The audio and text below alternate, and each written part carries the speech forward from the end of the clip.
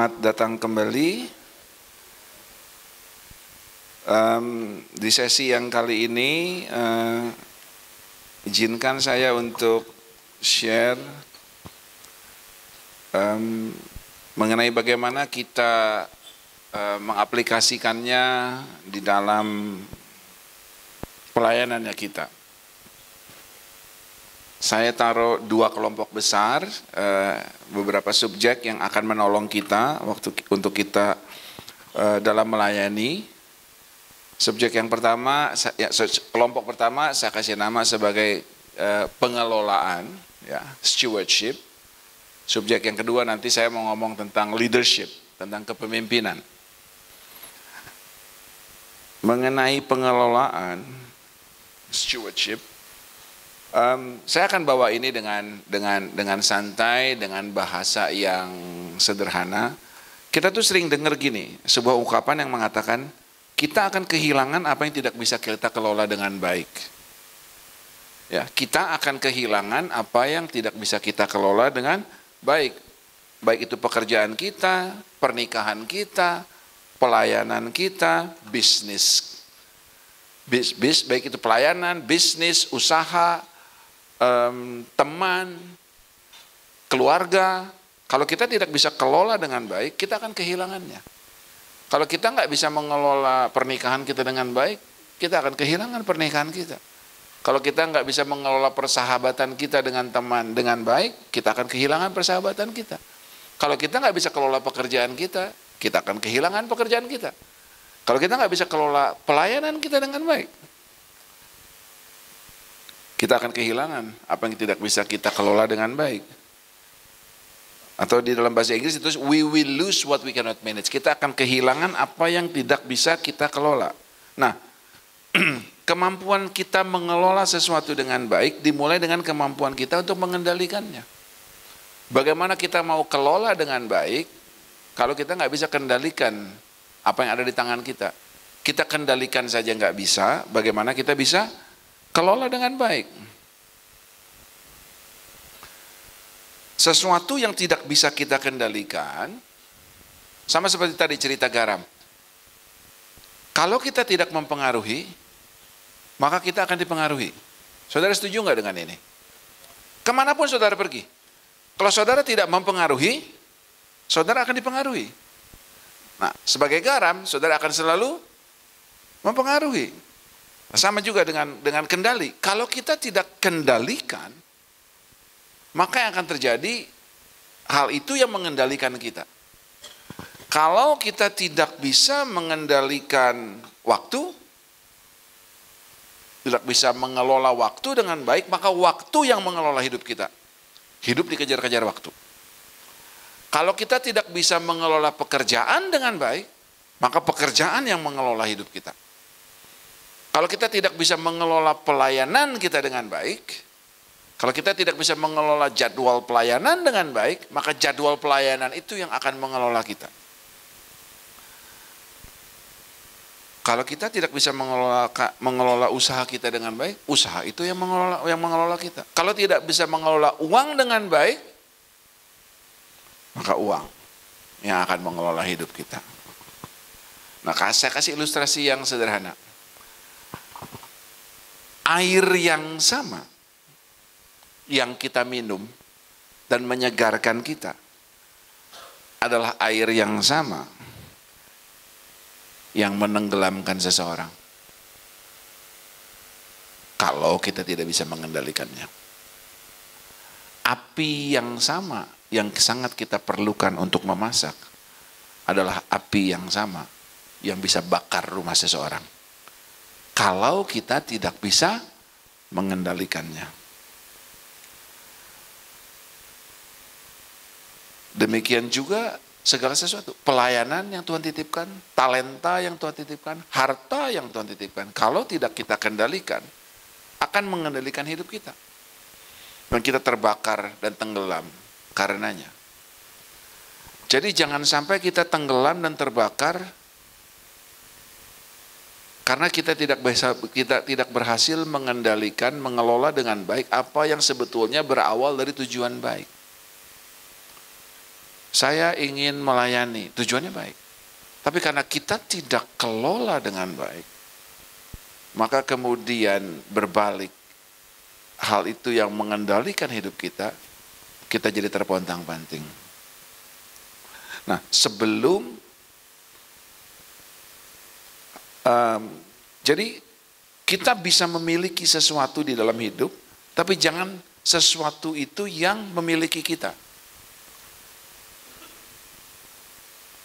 Um, kita yang kita kita boleh punya sesuatu, kita boleh punya pelayanan, tapi jangan pelayanan yang mempunyai kita.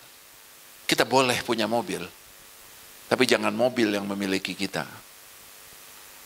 Kita boleh punya pekerjaan, jangan pekerjaan itu yang memiliki kita. Atau bahasa Kristennya bilang gini, jangan itu semua terus jadi Tuhannya kita yang mengendalikan hidup kita. Nah, sebelum kita mampu kendalikan yang besar, kita mulai belajar dulu untuk kendalikan yang kecil, bukan? Sebelum kita bisa kendalikan yang besar, kita belajar dulu dengan kendalikan yang kecil. Itu yang dikatakan di dalam Lukas 16 ayat 10. Barang siapa setia dalam perkara-perkara kecil, ia setia juga dalam perkara-perkara besar. Ayat yang sangat kita kenal dengan sangat baik. Nah, hari ini hampir semua ayat yang akan saya sampaikan, yang saya pakai, yang saya gunakan, yang saya referensikan, ayat yang kita kenal semua dengan baik.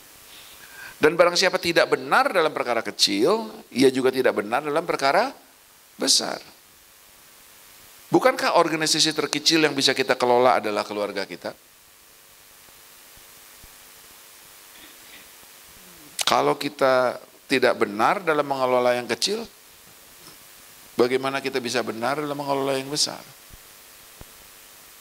Kalau kita nggak setia sama yang kecil, bagaimana kita bisa setia dengan yang besar?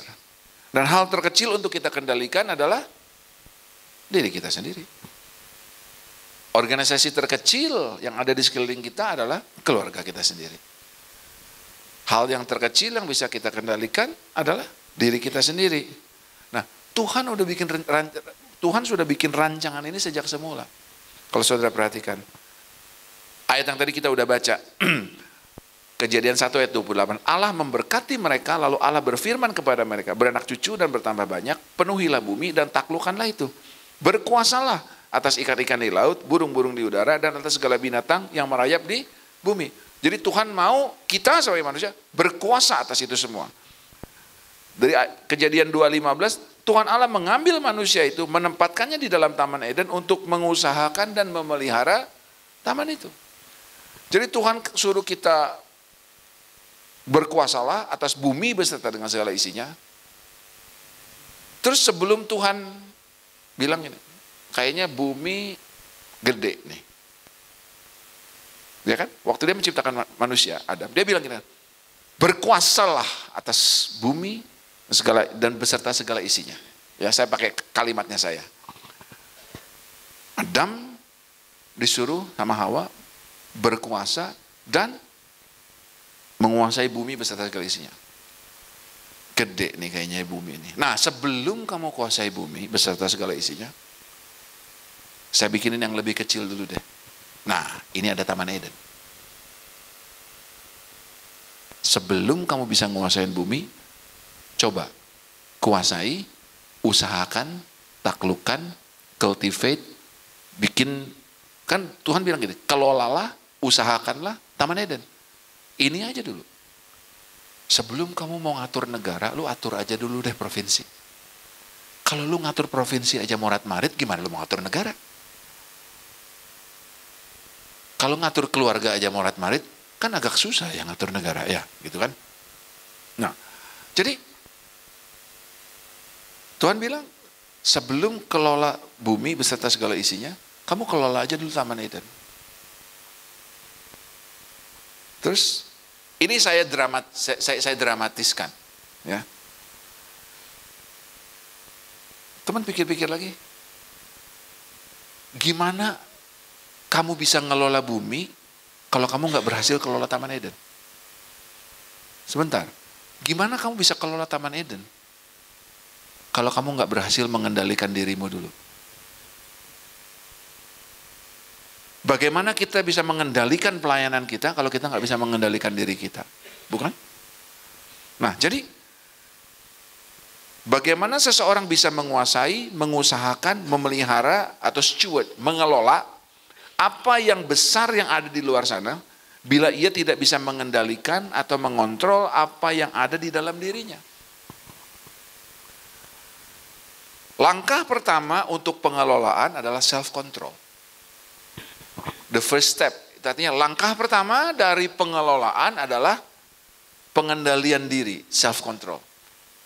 Pengelolaan tanpa pengendalian diri mitos.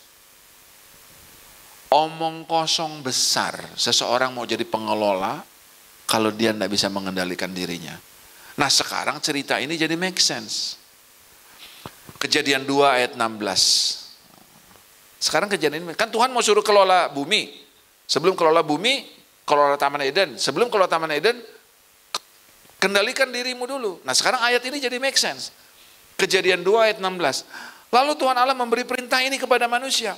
Semua pohon di dalam taman ini boleh kamu makan dengan bebas buahnya. Tetapi pohon pengetahuan tentang yang baik dan yang jahat ini jangan kamu makan. Pada hari kamu memakannya, pastilah engkau mati. Ayat yang kita bangun tidur juga kita hafal. Hafal di luar kepala. Sebetulnya Tuhan lagi bilang gini, Adam ini dikasih batasan dan pilihan sama Tuhan. Semuanya ini boleh kamu makan. Yang ini jangan. Tapi waktu dibilang yang ini jangan, kan nggak ditutup pintunya terus dikunci, diambil kuncinya, betul nggak? Jadi Adam itu dikasih batasan dan pilihan yang sedang terjadi. Buat saudara yang punya anak, kalau dia sakit batuk, terus saudara bilang gini, nak, kamu jangan makan es krim. Tapi kalau es krim nggak ada, ini nggak usah dibilang jangan lah, nggak ada. Betul nggak? Berarti anak itu nggak punya pilihan lah, es krim nggak ada kok. Tetapi kalau mamanya bilang gini, itu ada es krim di kulkas, tapi karena kamu batuk, jangan kamu makan pintu kulkas tidak dikunci, kulkas di dalam dapur, pintu dapur tidak dikunci. Anak ini dikasih batasan, tapi dikasih pilihan. Dia harus pilih. Karena dia punya akses. Dia bisa buka bisa ke dapur, dia bisa buka kulkas, dia tahu ada es krim, tapi mama bilang jangan dimakan. Tapi kalau kulkasnya dikunci, pintu dapur dikunci, kuncinya dibawa sama mama, nggak usah dilarang juga dia nggak bisa makan nggak bisa makan es krim. Berarti anak ini nggak perlu bisa mengendalikan dirinya.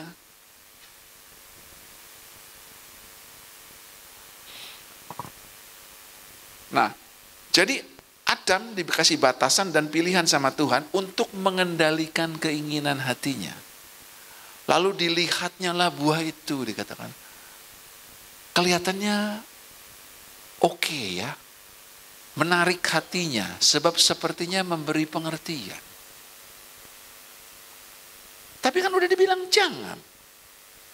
Nah bagaimana kamu mau mengelola Taman Eden? Kalau kamu tidak bisa mengendalikan dirimu.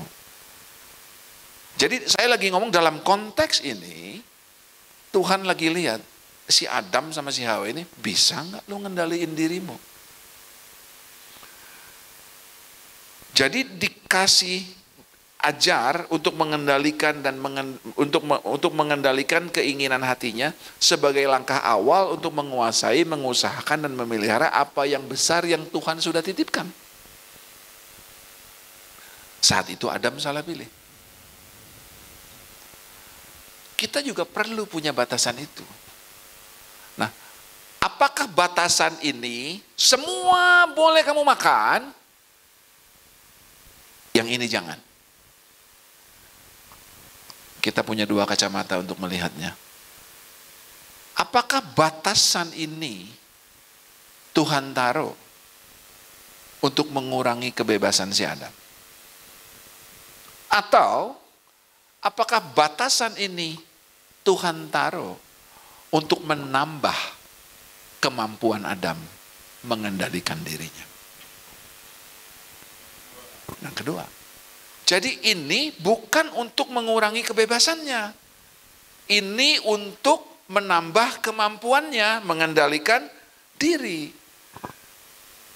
Supaya kita mampukan supaya kita mampu kendalikan hal besar yang lebih besar dan menjadi pengelola atas harta besar, talenta besar, kepercayaan besar, pekerjaan besar, pelayanan besar yang Tuhan bisa titipkan kepada kita. Sebelum kita bisa kendali kelola yang besar, kita belajar dulu dari yang kecil. Sebelum kita kelola yang kecil, kita kendalikan dulu yang kecil. Yang paling kecil adalah diri kita. Kemampuan kita mengendalikan diri menentukan seberapa besar Tuhan bisa percayakan resource-nya sama kita. Kemampuan kita mengendalikan diri akan menentukan seberapa besar Tuhan bisa titipkan. Nah karena Adam sama Hawa gagal mengendalikan dirinya, disuruh keluar sama Tuhan. Jangan sampai dia nanti makan dari pohon kehidupan. Dikatakan di dalam firman Tuhan. Nah, rules, peraturan, boundaries, atau batasan adalah sarana untuk meningkatkan kemampuan kita mengendalikan diri. Jadi rules, aturan, boundaries itu batasan adalah sarana untuk meningkatkan kemampuan kita. Rules itu ditetapkan oleh orang. Rules. Kalau batasan, boundaries, itu saya yang tetapkan.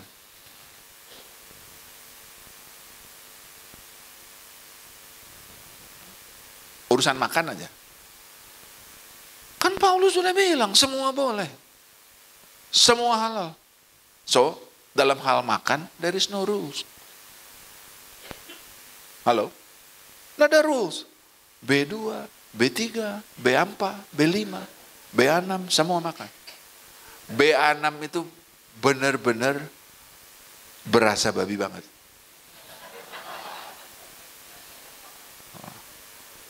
Jadi rulesnya tidak ada.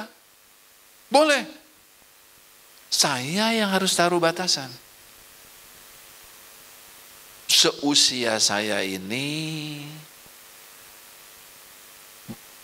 kalau begini, ya kalau Senin saya udah makan itu, nanti makan lagi mungkin Jumat deh. Saya mesti atur. Tapi itu bukan peraturan, itu batasan. Saya yang menetapkan batasan. Lu ngapain bikin batasan? Itu kan ngurangin kebebasan lu. Bukan. Saya sedang meningkatkan kemampuan saya mengendalikan diri saya. Saudara mengerti apa yang saya maksudkan? Nah, semua yang kamu peroleh, ini sering kita ajarkan di gereja. Semua yang kamu peroleh, boleh kamu makan dengan bebas. Tapi perpuluhanmu jangan kamu makan. Pada hari kamu akan memakan, pada hari kamu makannya, mati berkatmu. Itu rules. Ada pilihan. Mau dimakan bisa nggak? Ya bisa. Duit-duitmu, di rekeningmu, gaji-gajimu. Tapi Tuhan taruh rules. Rules ini bukan untuk mengurangi apa yang kamu punya, tapi untuk menambah kemampuanmu mengendalikan dirimu. Dan ini berlaku untuk semua orang. Entah kamu jemaat, entah kamu melayani Tuhan. Rules is rules. Jangan jadi serupa dengan dunia ini, tetapi berubahlah oleh pembaharuan pikiranmu, dikatakan dalam Roma Supaya kita bisa membedakan mana yang baik, mana yang berkenan, mana yang sempurna.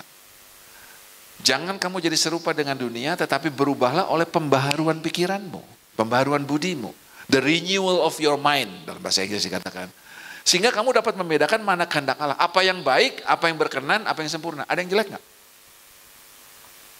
Nada. Satu hal yang kita belajar. Kedewasaan itu kita belajar membedakan yang baik dari yang jahat. Makanan keras adalah untuk orang dewasa. Dengan indera yang yang lengkap bisa membedakan mana yang baik, mana yang jahat. Jadi kalau kita dewasa, kita bisa membedakan yang baik dari yang jahat. Itu kedewasaan. Tapi untuk membedakan yang baik dari yang berkenan, dari yang sempurna, tidak bisa cuma saudara hidup dewasa. Saudara harus mengalami pembaharuan pola pikirmu pola pikir kita harus diperbaharui supaya kita bisa membedakan mana yang baik, mana yang berkenan, mana yang sempurna. Bukan cuma bisa membedakan yang baik dari yang jahat. Saya akan masuk ke dalam topik berikutnya. Berarti kita harus belajar menentukan prioritas. Prioritas, kemampuan menentukan prioritas tidak diperlukan untuk memilih yang baik dari yang salah. Itu tidak pakai prioritas. Itu pakai kebenaran. Prioritas adalah menentu, mem, untuk memilih mana yang baik dari yang lebih baik, dari yang paling baik. Baru kita perlu prioritas. Kalau kita mau hidup punya prioritas, kita harus mengalami pembaharuan pola pikir. Kalau enggak, kita enggak akan bisa. Gimana milihnya ya Pak ya? Soalnya semuanya penting. Ini penting, ini penting, ini penting, ini penting, ini penting. Ya harus tentuin prioritasnya. Nggak bisa. Semua sama penting. Pernah dengar? Atau pernah mengalami posisi seperti itu? Semua sama penting. Ada gini, kalau semua sama penting, satu hal yang pasti, berarti di dalam hidup kita tidak ada yang penting. Coba renungkan baik-baik. Kalau semua sama penting, berarti di dalam hidup kita tidak ada yang penting. Kalau istrimu sama tetanggamu sama penting,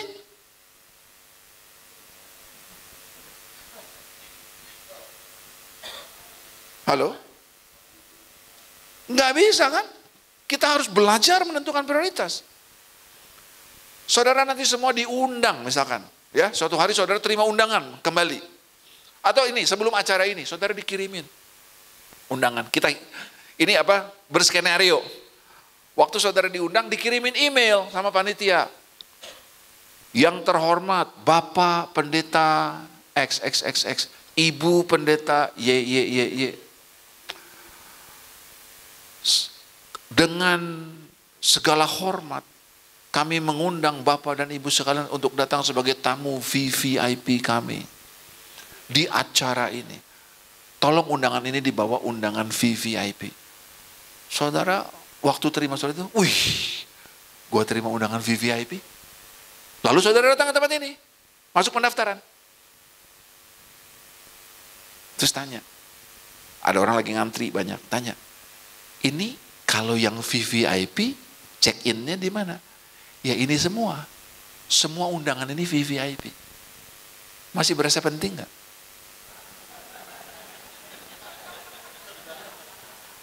Masih berasa penting nggak? Zaman dulu punya kartu kredit gold itu bangga bener. Zaman dulu. Cuman karena semua orang udah punya gold, perlulah dibikin yang baru. Namanya platinum. Tapi kemudian kartu platinum dijual di pasar-pasar. Ditawarkan di pasar-pasar. Dia perlu bikin yang lebih baru. Namanya infinite. Lalu dijual di pasar-pasar lagi infinite. Bikin yang lebih baru lagi. Namanya black card. World card. Apa pun lah namanya. When everything is important ketika semua sama penting dalam hidupmu, tidak ada yang penting. Nah, jadi kita perlu mengalami pembaruan pikiran. Nah, sekarang saya taruh gini. Dalam hidup, kita mesti bisa bedakan dengan prioritas ini.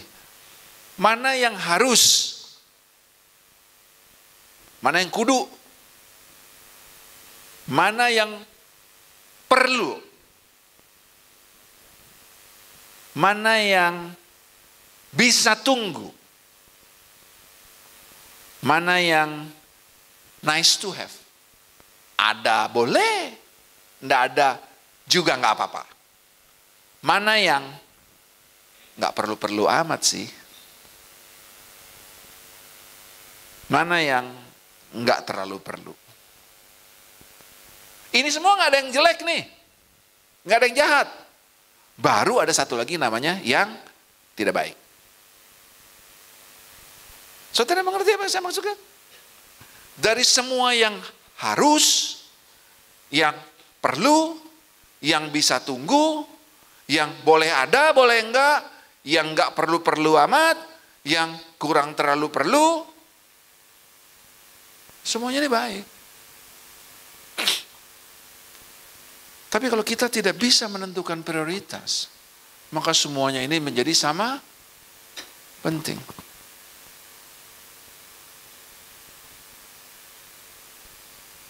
Ini sering kali yang jadi persoalan di dalam manajemen priority.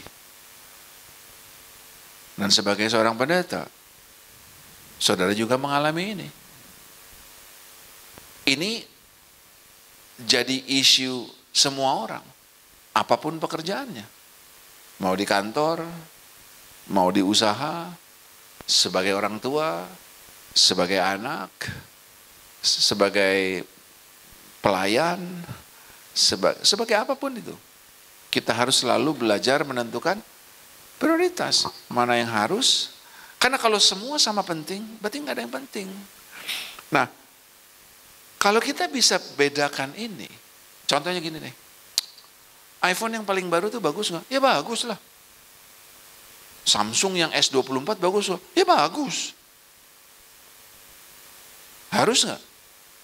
Nanti dulu, kalau HP saya pas pecah, kemampuan pas ada, ya saya beli. Kalau nggak, harus nggak? Ya enggak sih.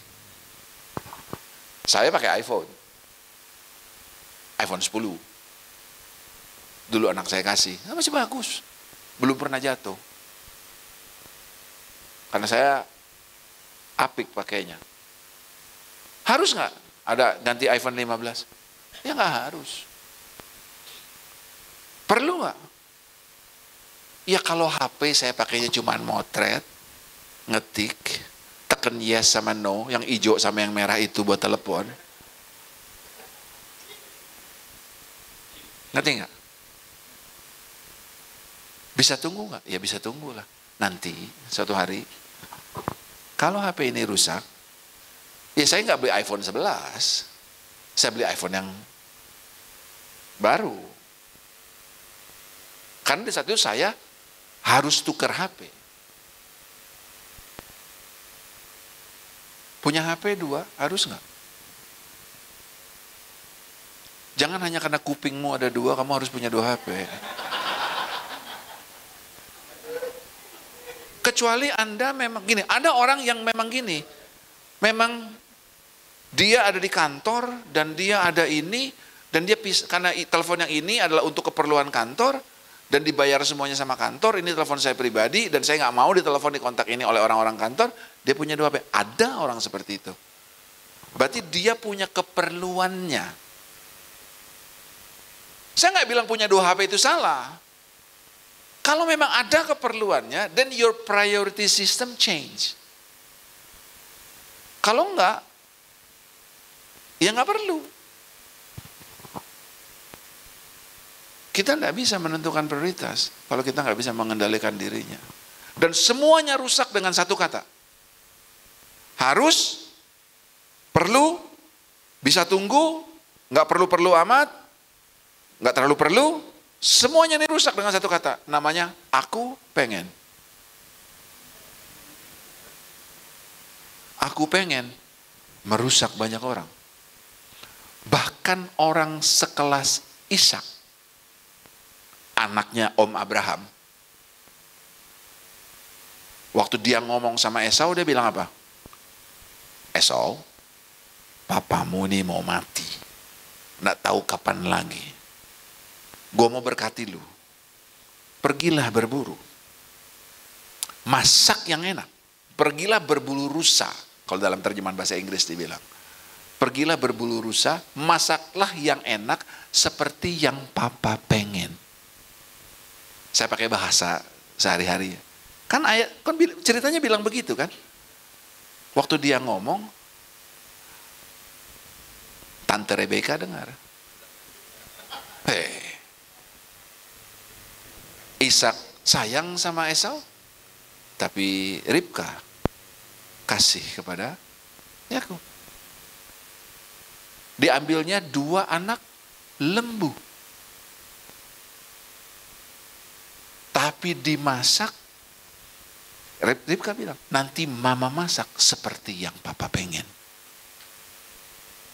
dimasak seperti yang papa pengen, orang sekelas Ishak tidak bisa bedakan rusa dari dua anak domba. Karena apa? Yang aku pengen. Aku pengen merusak banyak tatanan.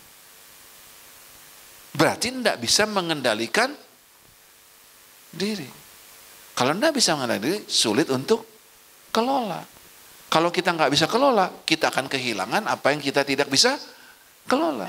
Kalau tidak bisa kita kendalikan, maka kita akan dikendalikan. Jadi hidup kita akan dikendalikan oleh HP kita. Hidup kita akan dikendalikan oleh Samsung keluarin apa, iPhone keluarin apa, Vivo keluarin apa yang baru, Oppo keluarin apa. Kita mengendalikan HP yang kita beli atau HP yang perusahaan HP yang mengendalikan HP yang kita pakai. Saudara mengerti apa yang saya maksud? Nah, kalau kita bisa menentukan prioritas di dalam hidup, kita bisa menentukan apa yang harus kita beli, apa yang perlu kita beli, apa yang nggak perlu-perlu amat, apa yang bisa tunggu, apa yang nanti aja dulu deh.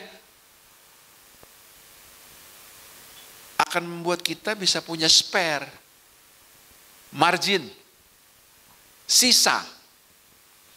Buat orang yang sekolah ekonomi, yang belajar ekonomi, income dikurangi pengeluaran namanya sisa. Nah kalau kita bisa menentukan prioritas dengan baik, kita di dalam hidup akan punya margin. Kalau kita nggak punya margin, hidup kita akan jadi pelan. Tanpa margin, kehidupan kita, roda kehidupan kita, perjalanan hidup kita akan jadi lebih pelan. Saudara mau contohnya? Banyak di mana-mana. Nanti waktu di jalan tol, kan saudara suka lihat ada jalan tol yang dulunya pernah ada pagarnya. Tapi sekarang udah dijadikan satu. Tahu kan ya? Gerbangnya udah nggak ada, eh, pagarnya udah nggak ada. Tapi bangunan gerbangnya masih ada. Ininya udah nggak ada nih, udah nggak bayar. Tapi bangunannya masih ada. Saudara lagi jalan 100 km per jam di jalan tol, 80-100 km per jam jalan. Lalu ada gerbang yang udah nggak ada pagarnya. Apa yang terjadi dengan mobil saudara? Waktu lewat gerbang. Kenapa mesti pelan? Karena sempit. Betul nggak? Marginnya nggak ada. Demikian juga dengan kita di dalam hidup. Kalau margin nggak ada, ya kita jadi pelan hidupnya. Nah jadi mulai perhatikan, jangan-jangan kalau ini semua jadi pelan, kenapa ini jadi pelan, kenapa pergerakan ini jadi pelan, Jangan-jangan karena marginnya nggak ada. Kenapa marginnya nggak ada?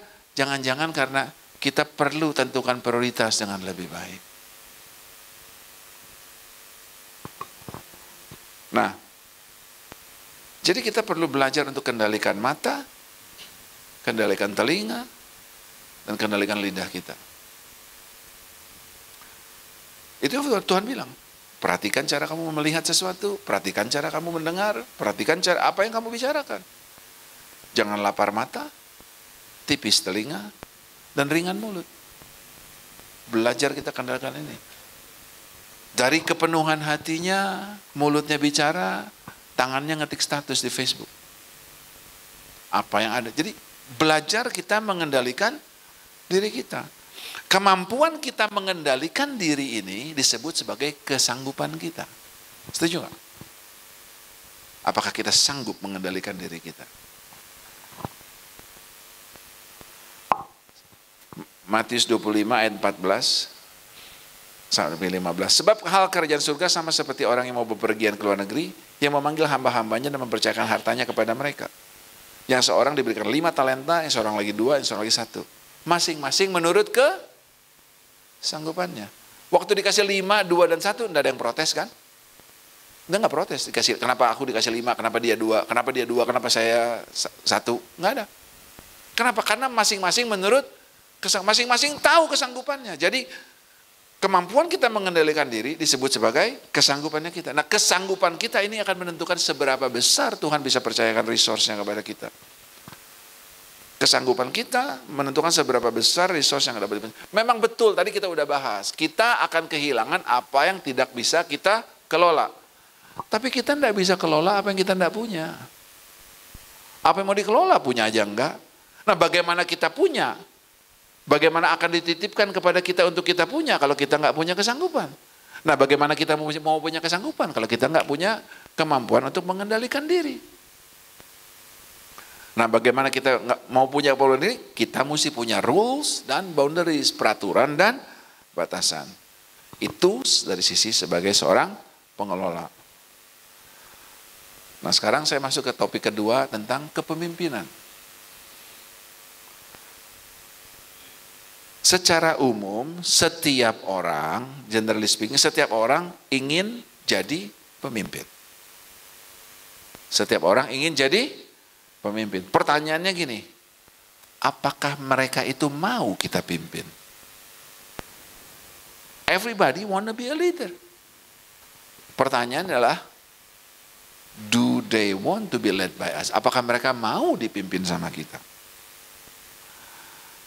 Leadership adalah sebuah proses yang membentuk sebuah organisasi. Ini ini dalam bahasa Inggris. Jadi karena saya copy, bukan saya copy, saya ambil dari terjemahan aslinya. Karena ini saya copy, saya nggak boleh rubah. Ini citation soalnya kan, ada ada hak property. Jadi leadership adalah sebuah proses yang membentuk organisasi itu sendiri.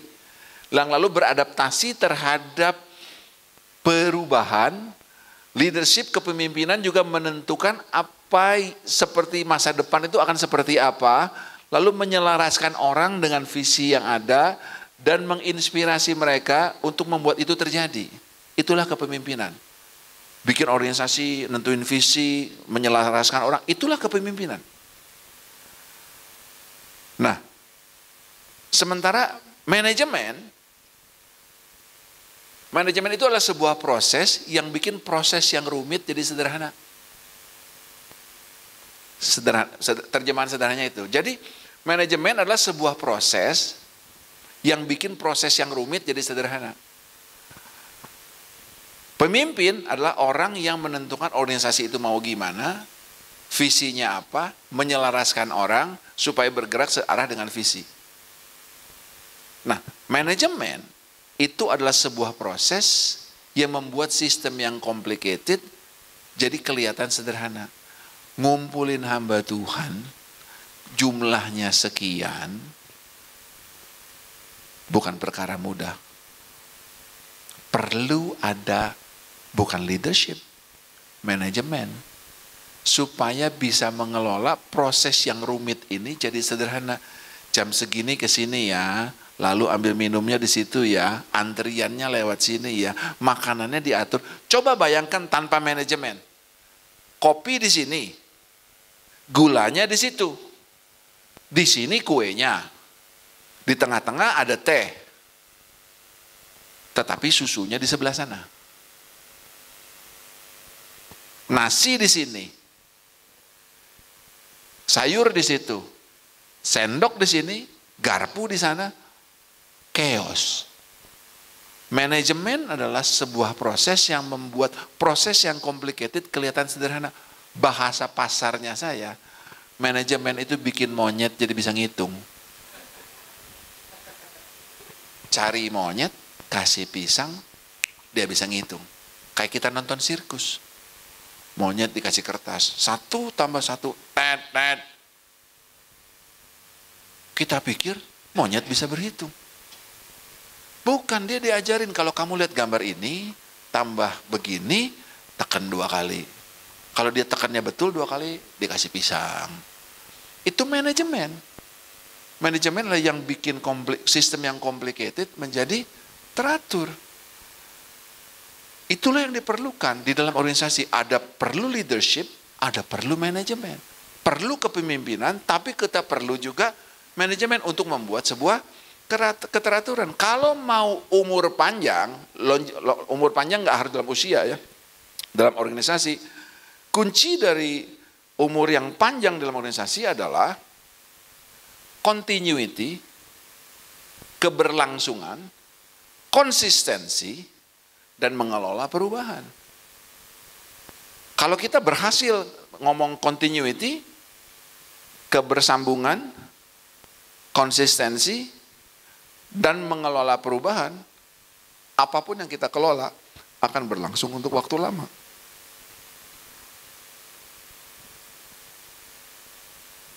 Nah, saya mau taruh sebuah ide yang lain. Sampai sini saudara mengerti ya? Nah, sebagai seorang pemimpin di pelayanan saudara, kadang-kadang saudara harus jadi seorang pemimpin, tapi kadang-kadang saudara harus jadi seorang pengelola yang memanage segala sesuatu. Kalau, nah, kalau kita nggak cakap dalam hal itu, kita mesti delegasikan apa yang tidak kita cakap. Jangan delegasikan sesuatu yang kamu kuat. Seringkali itu kita delegasikan apa yang kita kuat. Supaya kalau sampai ada kesalahan kita bisa recover. Justru kita harus delegasikan tempat di mana kita ini lemah. Delegasikan sama orang karena ada orang lain yang bisa mengelola ini dengan lebih baik. Leadership akan naik, akan bawa visi, manajemen yang bikin complicated system berjalan dengan baik. Itu yang yang yang yang yang yang terjadi. Nah, um, leadership itu gini loh. Ini visi. Ini dalam contoh sederhana. Ini visi.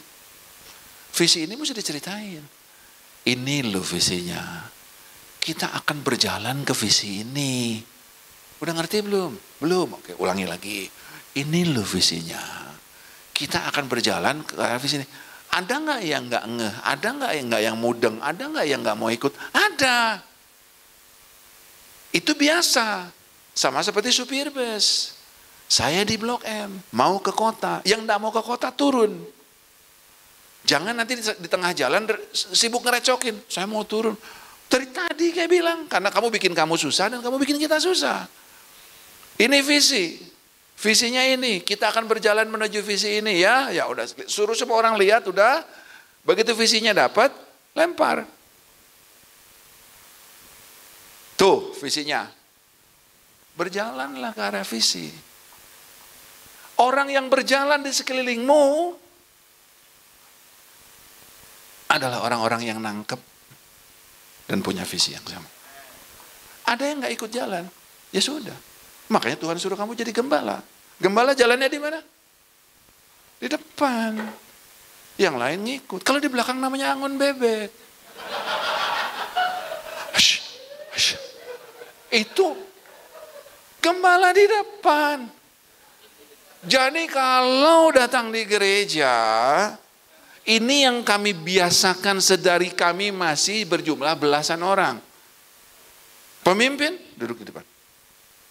Bukan sok-sokan pemimpin, tapi kita ngajarin. Betapa sering kami lihat. Istrinya pendeta, masuknya paling belakang. Ya orang nyonto. Kongko dulu di belakang.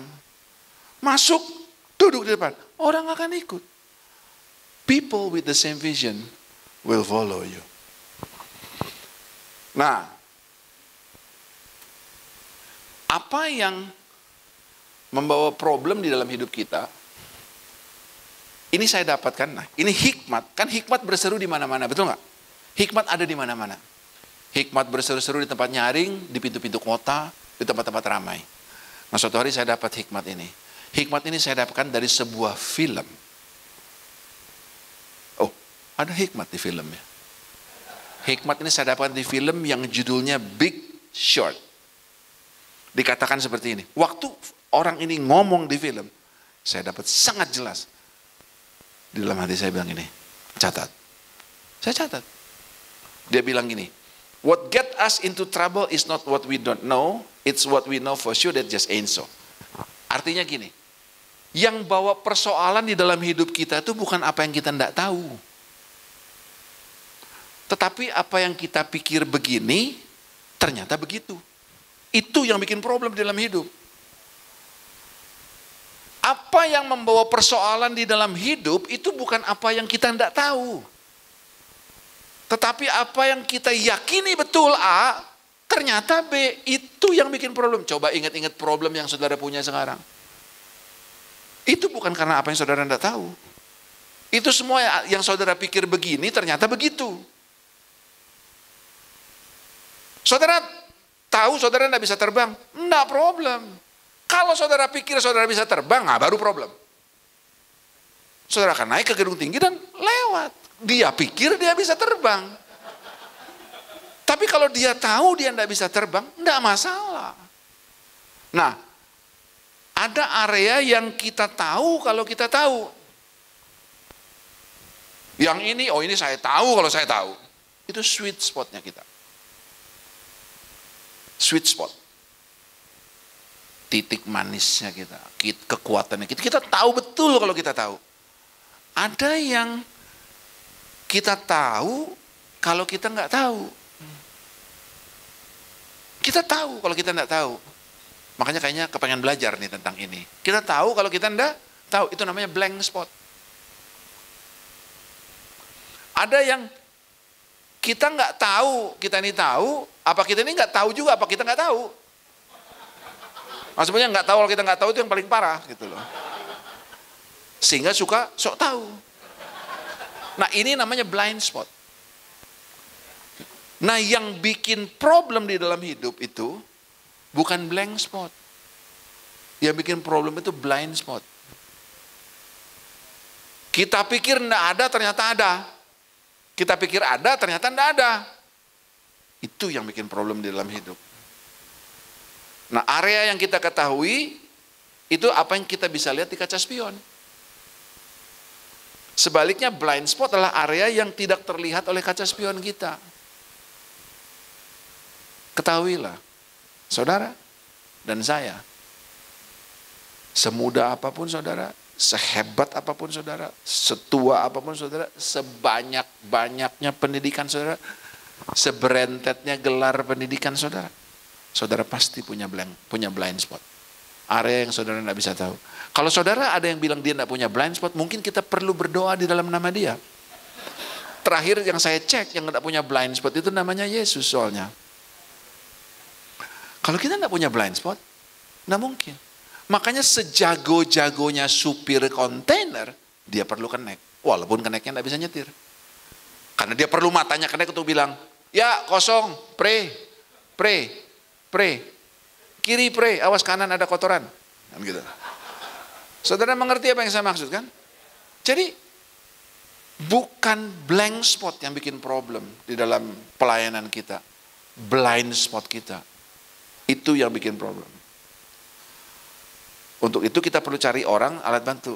Nah sekarang kan betul kan yang firman Tuhan bilang, berdua lebih baik daripada seorang diri. Kalau mau jalan cepat, jalan ini ini Chinese proverb. Kalau mau jalan cepat, jalan sendiri. Kalau mau jalan jauh, jalan berdua. Tidak baik manusia itu seorang diri saja. Itu bukan ayat buat orang kawinan. Supaya ada yang bisa ngeliatin. Pepatah bilang, kuman di seberang lautan nampak, gajah di peluk mata nggak nampak. Balok di depan matamu kamu udah lihat, tapi selumbar di mata kamu lihat. Karena itu ada di blind spot saudara. Perlu orang lain untuk kasih tahu. Nah kita perlu kebesaran hati untuk bisa mendengar apa yang orang lain kasih tahu tentang blind spotnya kita. Nah, apa yang menjadikan seseorang? Saya akan, nah sekarang ini saya akan taruh beberapa poin yang akan menolong saudara untuk uh, membantu saudara untuk menggembalakan, mengelola, memimpin di tempat di mana saudara ada. Apa yang menjadikan seseorang? Persoalan dan tekanan tidaklah mengubah seseorang. Problem and pressure will not change a man. Persoalan dan tekanan tidak merubah seseorang, tetapi menunjukkan siapa dia sesungguhnya. Problem sama persoalan tidak merubah seseorang, tetapi akan menunjukkan siapa orang itu sesungguhnya. Dan perubahan baru mulai terjadi ketika seseorang mengambil keputusan untuk berubah. Kalau kita tidak ambil keputusan untuk berubah, kita tidak akan pernah kita nggak akan pernah berubah. Sesumpek-sumpeknya kamar kos seseorang, saya nggak bilang rumah nih, kamar kos. Sesumpek-sumpeknya kamar kos seseorang tidak akan berubah Sampai seseorang itu bilang gini, kayaknya kamar kos gue sumpek banget deh, gue perlu pindah nih. Baru dia pindah. Baru dia cari rumah rumah kosan baru. Betul nggak? Selama dia tidak mengambil keputusan kalau dia berubah. Dia perlu berubah. Nggak akan perubahan itu terjadi. Ada orang suatu hari bersaksi, dia bilang gini, saya ini tinggal di daerah sini, waduh sesaknya minta ampun gitu ya Terus tiba-tiba suatu hari saya udah nggak tahan lagi, dia bilang. Terus saya bilang sama Tuhan, Tuhan saya perlu itu saya pergi cari, eh puji Tuhan, saya menemukan rumah yang kami tinggalin sekarang ini, dia bilang. Nah waktu orang yang diceritain itu saya nanya gini, saya baru mulai dapat pemikiran ini waktu itu. Jadi saya nanya sama dia, mau tahu dong sama kamu, saya mau nanya, waktu kamu nemu rumah itu, Rumah itu udah berapa tahun dibangun? Kejadian ini nih 2010. Oh rumah ini bangunan tahun 98 Pak. Berarti rumah itu udah ada 12 tahun ada. Iya tapi baru mau dijual sekitar 2 tahun terakhir. Kalau gitu kenapa nggak ketemu dari 2 tahun yang lalu? Saudara ngerti apa yang saya maksud ya? Apa yang saya bilang? Kenapa rumah ini yang katanya dari Tuhan Tuhan pertemukan dia dengan rumah ini, yang dia tinggal sampai hari ini, tapi baru ketemunya di tahun 2010, padahal rumah itu sudah mulai dijual di tahun 2008. Rumah itu dibangun tahun 98, tapi belum dijual. 2008 dijual, 2010 ketemu sama dia. Tapi kenapa perlu dua tahun untuk sampai dia ketemu rumah itu? Karena di tahun 2010 lah dia mengambil keputusan bahwa dia perlu pindah rumah. Jadi jangan-jangan sebetulnya itu sudah ada. Tuhan tunggu untuk dia temukan. Yang membawa problem di dalam hidup kita itu bukan blank spot. Tapi blind spot. Ada tapi nggak kelihatan, nggak tahu. Atau nggak ada, kita pikir ada, kan gitu. Nah kira-kira rumah yang udah dua tahun ini ada. Udah ada kan rumah ini, betul nggak? Tapi nggak dia temukan. Kenapa? Karena rumah ini nggak dia cari pertama. Kedua ada di blind spotnya dia. Beginilah caranya Tuhan kadang-kadang menjawab doanya kita. Nah sekarang ayat ini nggak ada di nggak, nggak, ada di nggak di saya tiba-tiba aja saya keingetan ayat ini. Apa yang tidak pernah kamu lihat oleh mata apa yang tidak pernah didengar oleh telinga, bahkan apa yang belum pernah timbul di dalam hati, ada dalam pikiran, itu yang Tuhan sudah sediakan bagi kita yang mengasihi Dia. Kira-kira Tuhan taruhnya di mana? Di blind spot. Menunggu untuk kita temukan. Selama ini mungkin kita orang Jawa bilang delok, tapi ora ketok denger tapi nggak kerungu, nggak kedengeran, nggak pernah kepikiran. Perlu ada orang bilang, gua rasa di situ, coba lu lihat deh. Nah jangan-jangan orang ini sedang menunjukkan blind spotnya saudara. Blind spot yang jadi problem kita sering kali blind spot Tuhan pakai untuk cari jawaban untuk buat kita. Saudara mengerti apa yang saya maksudkan? Berubah kan baru terjadi ketika ketika kita mengambil keputusan bahwa kita perlu berubah. Nah, apakah ini problem atau ini tekanan? Di dalam hidup kita akan selalu ketemu dengan ini. Ini problem atau ini tekanan. Kalau ini problem, perlu kita selesaikan. Kalau ini tekanan, hanya perlu kita kelola. Sebab tekanan akan selesai dengan sendirinya. Kita perlu bisa mengidentifikasikannya dengan baik. Bagaimana kita mau memperbesar? Masih ingat tadi? Kalau nggak kita nggak bisa kontrol. Bagaimana kita mau kontrol? Kalau kita nggak bisa kendalikan. Bagaimana kita mau kendalikan? Kalau kita nggak bisa ukur. Bagaimana kita mau ukur? Kalau kita nggak bisa identifikasikan. Jadi kita belajar untuk mengidentifikasikan persoalan. Ini persoalan atau tekanan. Kalau persoalan harus dicari solusinya. Kalau tekanan harus di manage aja. Kita perlu identifikasikan ini. Bukankah ini yang kita pelajarin dari kecil sih? Kalau kita waktu belajar matematika. Masih ingat waktu belajar matematika dulu? Ada yang namanya soal cerita. Mungkin lagi ngajarin anaknya sekarang masih ingat matematika yang namanya soal cerita? Selalu dimulai dengan apa? Ngerjain menyelesaikannya. Diketahui. Know your problem. Know your ini apa yang diketahui? Udahlah bu, jangan bikin diketahui diketahui. Udah kita bikin, langsung aja nyelesain kita bikin jawab. Ya enggak bisa. Diketahui. Kemudian ditanyakan apa yang ditanyakan.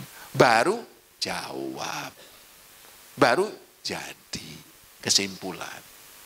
Sama. Jadi jadi ini gimana Pak nyelesainnya? Sebentar. Ini persoalan atau tekanan? Ya enggak tahu, pokoknya saya nggak nyaman aja. Oh kalau kamu nyaman tapi belum tahu ini itu namanya kamu lagi komplain. Tapi cari tahu dulu ini persoalan atau tekanan. Kalau rumahmu banjir, sekarang lagi banjir gitu loh. Itu problem atau tekanan? Itu tekanan, itu bukan problem. Karena persoalannya bukan di rumahmu. Jadi jangan selesaikan sesuatu yang bukan, yang nggak perlu diselesaikan. Kalau mau menyelesaikan ini persoalannya bukan menyelesaikan banjirnya, pindah. Tapi waktu dia banjir, itu bukan problem. Nggak bisa diselesaikan. Banjir yang datang, nggak usah didoain, akan pergi sendiri. Setuju nggak? Banjir yang datang akan pergi sendiri. Karena ini tekanan. Tekanan datang, tekanan pergi. Cuman pastikan waktu dia pergi, kita kelola dengan baik waktu dia datang. Waktu ada tekanan itu kita kelola dengan baik. Kulkas jangan kerendam. Sofa jangan kerendam. TV jangan kerendam. Sehingga waktu dia keluar, tekanan yang ada tidak menimbulkan dampak yang berbekas banyak. Buat saudara yang pernah pergi ke negara empat musim, ketahuilah kalau kita di sini biasa mandi dua kali, dan saudara pergi ke Eropa dan mandi dua kali, kulitmu akan gatel. Karena udara di sana kering dan dingin. Itu problem? Bukan. Itu bukan problem kulit saudara. Tidak usah diselesaikan. Saudara hanya perlu kelola tekanannya. Jadi selama di sana mandi sehari sekali aja.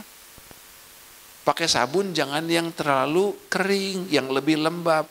Makanya ada sabun yang saudara beli di sini, yang saudara pakai. Ini kayaknya kalau dicuci, ndak hilang-hilang ya licinnya. Bukan ndak hilang-hilang licinnya, itu sabun untuk negara di mana musimnya dingin dan kering. Sehingga banyak minyaknya. Halo? Ini tekanan. Tekanan ndak usah diselesaikan. Tekanan akan pergi dengan sendiri. Do not solve a problem yang akan selesai dengan sendirinya. Jangan selesaikan persoalan yang akan selesai dengan sendirinya. Saya menikah, berarti saya punya istri. Setiap bulan ada yang namanya PMS.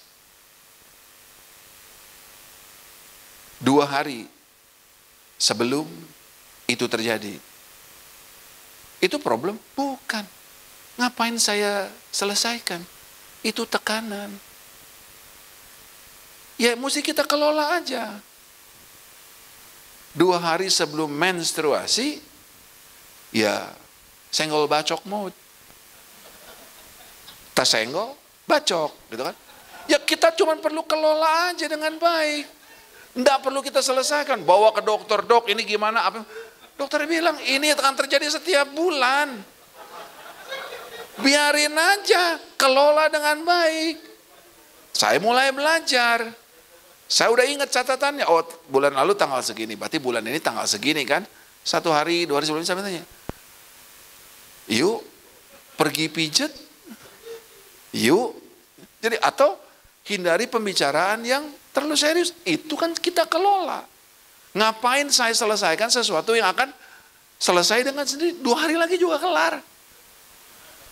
Begitu dimulai, hilang semua itunya kan, mood swingnya. Saudara mengerti apa yang saya maksud? Jadi kita mesti selesaikan persoalan dengan baik dan kelola tekanan dengan baik. Apa ini menolong saudara? Sama, kalau saudara punya persoalan dalam pelayanan saudara, cari tahu dulu, ini persoalan diketahui. Ini persoalan kah atau ini tekanan? Kalau ini cuma tekanan, kelola aja tekanannya. Saya bingung pak, kalau Desember soalnya semua pekerja saya pergi liburan, liburan itu tekanan bukan persoalan, tidak bisa diselesaikan. Karena semua orang akan liburan karena sekolah di Indonesia liburnya Desember sama Juni. Coba pemerintah Indonesia rubah, liburannya adalah Maret sama September. Saudara tidak punya problem Natalan. Problemnya di hari lain. Saudara mengerti apa yang saya maksud? Oke. Saya kasih satu lagi deh terakhir.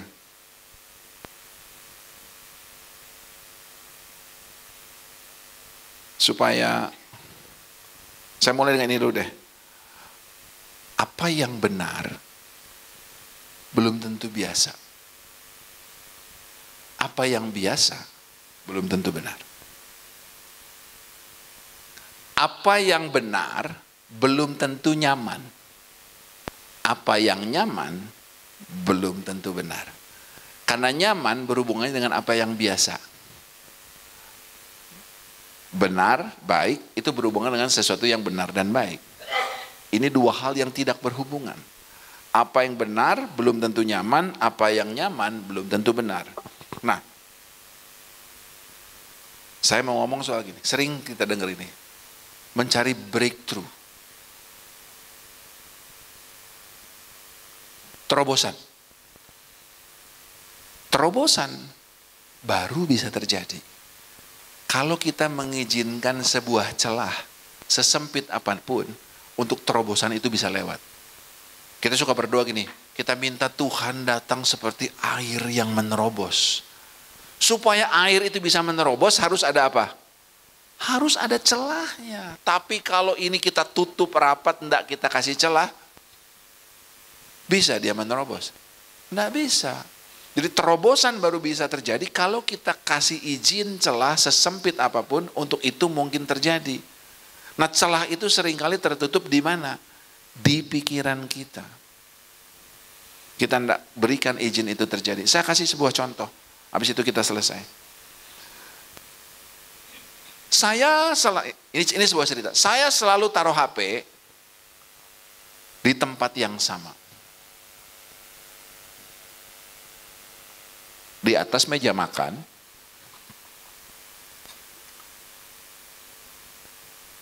di samping tempat tidur, atau di meja kerja. Saya tidak pernah taruh di tempat lain. Ini sebuah cerita ya. Saya selalu taruh HP di mana? Di atas meja makan. Di samping tempat tidur. Di atas meja kerja. Tidak pernah di tempat lain. Suatu hari, HP saya tidak ada. Ke mana saya cari? Ke meja makan. Samping tempat tidur, di atas meja kerja. Yang pasti udah saya cari berkali-kali dan tidak ketemu.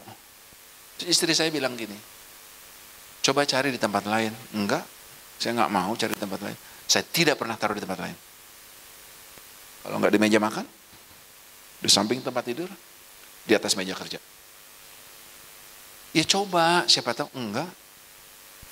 Saya tidak pernah taruh di tempat lain. Ini namanya apa? Paradigma. Saya cuma pernah taruh HP di, di meja makan, di samping tempat tidur, dan di meja kerja. Iya siapa tahu. Enggak. Udah deh kamu jangan ngomong-ngomong deh. Saya nggak pernah taruh di tempat lain. Meja makan, samping samping tempat tidur, meja kerja. Nggak ada tempat lain. Saya nggak mau cari tempat lain. Akan ketemu nggak?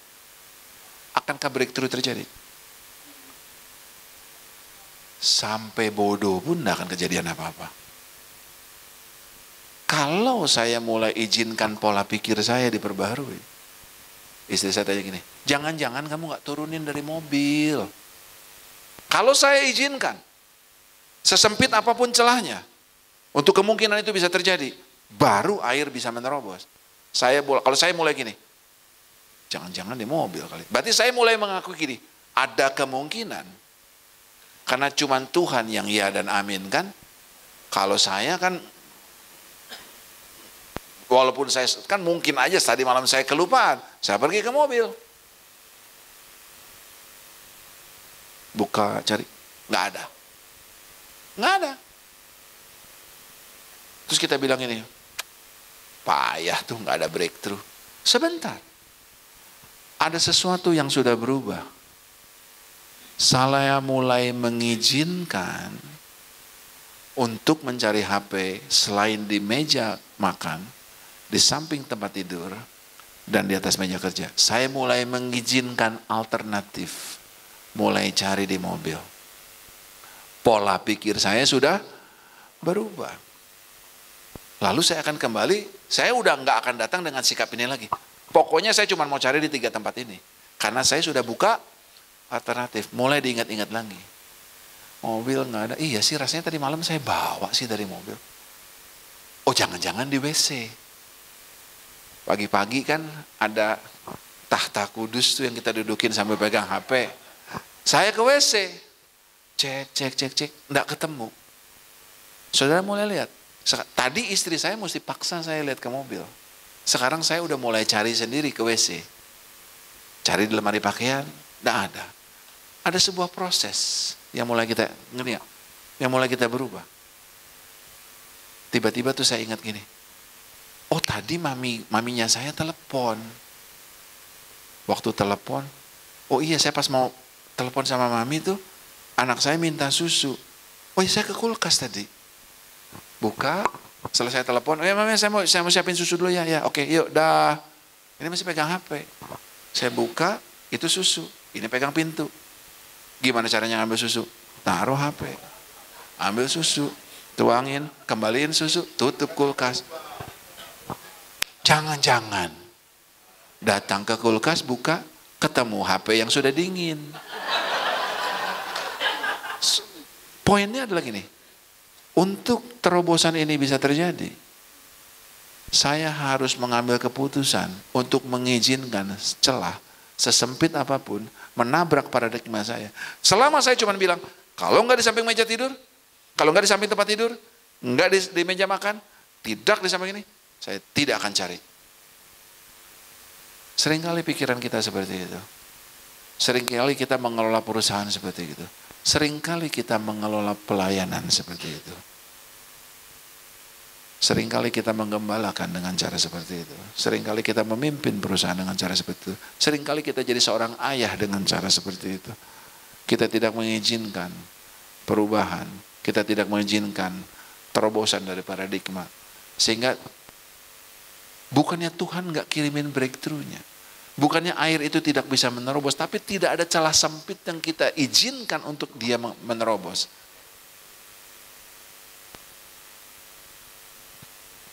Poin saya yang terakhir. Habis itu kita selesai. Seringkali kita menghabiskan seumur hidup uh, ini. We spend a long lifetime searching for an answer. Kita menghabiskan seumur hidup untuk mencari jawaban di dalam hidup ini. Untuk kemudian kita menyadari bahwa kita belum nanya pertanyaan yang benar.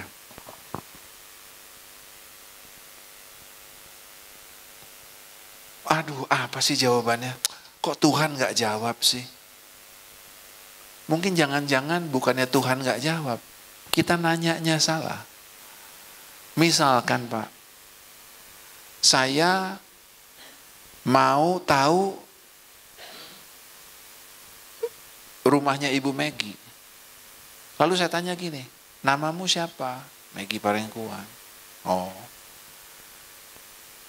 Kerja di mana? Hobinya apa? Makanan kesukaannya apa? Suka Coca-Cola enggak? Suka Pepsi enggak? Suka es teh enggak? Atau suka yang manis? Udah, habis gitu. Tapi dia tinggal di mana? Waduh dia nggak pernah kasih tahu tinggal di mana. Lalu nggak pernah tanya. Dia pikir kamu sudah tahu. Kalau suatu hari saya datang bilang eh Meg, gue ini nggak tahu lu tinggal di mana. Lu tinggal di mana sih? Langsung dijawab kan. Nah sering kali kita buang seumur hidup untuk cari jawaban. Untuk kemudian menyadari bahwa kita belum nanya pertanyaan yang benar. Identifikasi. Belajar nanya pertanyaan yang benar. Selain yang tadi yang sebelum ini. Kadang solusinya itu bukan di hal-hal yang kita belum lakukan. Tapi solusinya itu ada di hal-hal yang kita biasa lakukan, yang perlu kita berhenti lakukan. Kadang-kadang jawaban dari persoalan kita bukan di hal-hal yang gue belum bikin apa lagi ya, apalagi nih yang belum nih, apalagi yang belum, ini apalagi yang belum. Mungkin jawabannya ada di hal-hal yang biasa kita lakukan, yang perlu kita berhenti lakukan. Ada banyak hal yang kami sebagai sebuah gereja berhenti melakukan hal-hal yang biasa dilakukan oleh gereja pada umumnya. Waktu kami berhenti lakukan itu, pada mulanya nampak aneh. Tapi buat kami yang penting ini, yang penting ada dasar kebenarannya enggak. Karena kami gereja yang mayoritasnya yang kerja adalah volunteer, kami ada 2000 lebih volunteer kerja setiap hari Minggu volunteer ini kan tidak bisa suruh kerja sepanjang tahun. Ada hari di mana minggu terakhir di dalam bulan Desember di mana kami tidak kebaktian. Supaya volunteer ini punya waktu yang bisa janjian, bisa liburan, itu adalah minggu di mana semua orang nggak ada yang melayani. Semua libur. Kalau mau ada yang mau ke gereja, ke gereja lain atau online aja. Di gereja lain, karena di kita pun dulu nggak ada online-nya. Nah dengan begitu itu solusi buat kami. Belum tentu itu solusi yang sama untuk orang. Nah, jadi sometimes kadang-kadang solusi itu bukan di apa yang kita belum lakukan. Tapi apa yang biasa kita lakukan, yang kita perlu berhenti lakukan. Mungkin jawabannya ada di sana. Saya berharap apa yang saya sampaikan ini bisa jadi beberapa masukan, beberapa uh, kasus yang saudara bisa, oh bisa gini, oh bisa gitu. Dan ini akan menolong saudara dalam saudara mengembalakan, memimpin, melayani di tempat di mana saudara berada. Tuhan Yesus berkati.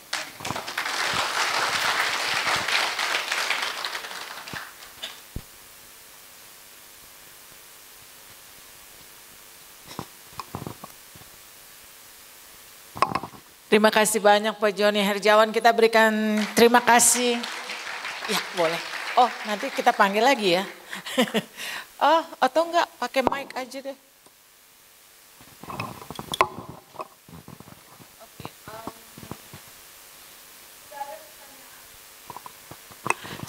Sudah ada yang pertanyaan? Sudah ada kertas-kertas yang dikumpulkan? Bisa kasih ke Nita, Ibu Nita? Ada? Enggak ada? Enggak ada satu, enggak ada dua, enggak ada tiga. Oh ada. Ada? Oke. Okay. Kalau ada tolong di... Uh, Oke okay, Del, tolong bawa sini satu Del supaya kita bacakan aja langsung. Kalau ada tolong dikasih ke Ibu Nita. Oh ini feedback, bukan. Yang pertanyaan untuk Pak Joni. Oke, kalau ini feedback. Uh, kalau begitu, ada yang mau bertanya? Ada yang mau bertanya? Kita langsung aja, nggak usah pakai kertas. Silahkan.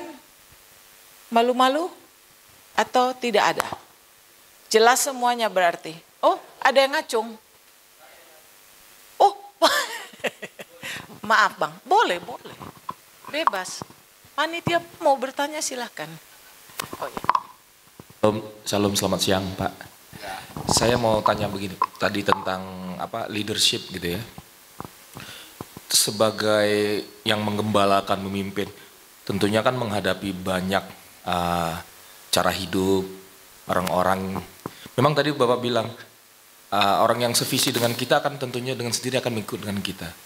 Tetapi sebagai uh, hubungannya dalam pelayanan gini Pak, uh, kan ada nilai-nilai yang pengen kita tularkan.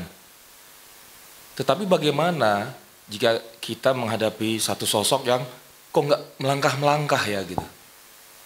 Kok orang yang kita pengen tularkan nilai uh, Kristus tetapi kenapa mungkin sudah dengar, dengar, dengar tapi mungkin seperti Pak bilang tadi telinga doang tapi nggak mudeng deh. Sehingga tidak ada keputusan untuk melangkah. Itu bagaimana Pak? Uh, menyikapi atau menghadapinya. Terima kasih Pak.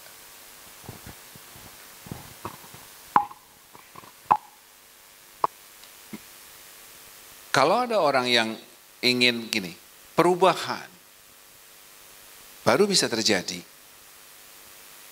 ketika seseorang mengambil keputusan bahwa dia perlu berubah. Selama yang bersangkutan tidak mengambil keputusan dia perlu berubah. Tuhan juga gak buat apa-apa. Karena kan harus ada langkah awal dari orang itu sendiri untuk mengambil keputusan baru dia berubah. Makanya kalau saudara baca ya di Amsal 9 yang bilang gini, buanglah kebodohan, maka kamu akan hidup. Nah ikutilah jalan pengertian. Kebodohan itu bukan harus diajar. Ini bukan teorinya saya. Ini firman, ini Amsal, Salomo yang tulis. Buanglah kebodohan, maka kamu akan hidup. Ikutilah jalan pengertian. Jadi kebodohan itu bukan harus diajar. Kebodohan harus dibuang. Siapa yang harus buang? Karena kalau buanglah kebodohan itu bukannya gini. Misalkan gini, kalau saya kasih uh, peragaan, bukannya gini. Buanglah kebodohan. Bukan. Tapi gini, buanglah kebodohan. Maka kamu akan hidup. Bagian lain dari perikop itu bilang gini, siapa mendidik seorang pencemooh, mendatangkan cemooh. Jadi kalau orang masih bodoh, tidak buang kebodohannya, dididik akan mencemooh. Diajar akan mencela diajar akan membenci kita. Ini firman Tuhan yang tulis, bukan saya. Tetapi dia bilang ini, kecamlah orang bijak. Tunjukkanlah kesalahannya orang bijak, maka engkau akan dikasihinya. Kamu jangan gini. Oh, tadi nggak bagus ya. Oh, thank you ya, thank you ya. Ah, itu orang bijak. Ajarilah orang benar, maka pengetahuannya akan bertambah. Jadi orang tidak bisa diajar selama dia bodoh. Kita mesti tunggu sampai dia mengambil keputusan untuk membuang kebodohannya. Saya bisa relate dengan apa yang Bapak tadi katakan. Karena gini, ini merubah cara saya mengajar anak. Waktu saya pertama kali mengenal prinsip ini, anak saya yang paling kecil baru setahun, dua tahun, anak saya yang besar udah teenagers. Nah saya punya masalah waktu itu dengan anak saya yang teenagers. Diomongin, ngelawan. Kalau saya kencengin, waktu saya baca firman Tuhan ini, saya nggak bisa bikin apa-apa. Jadi terus diapain? Ya bukan didiamin, saya doain. Supaya dia suatu hari mengambil keputusan untuk membuang kebodohannya. Selama dia nggak buang kebodohannya, kita nggak bisa bikin apa-apa. Nah makanya ada kalimat yang saya cukup sering lakukan dan gunakan di dalam counselingnya saya. Saya bilang, saya sering sekali ngomong gini. Tempat di mana lu pergi, gue gak bisa pergi ke sana. Tapi lu tahu gue ada di mana. Karena saya bilang, domba yang hilang dicari sama gembalanya. Dia tinggalin yang 99, dia cari yang satu. Betul nggak? Uang yang hilang, tuannya bangunin semua pegawainya. Eh bangun, bangun, bangun, bangun, bangun, bangun. Cari mina yang hilang, betul? Tetapi anak yang hilang, tidak dicari sama bapaknya.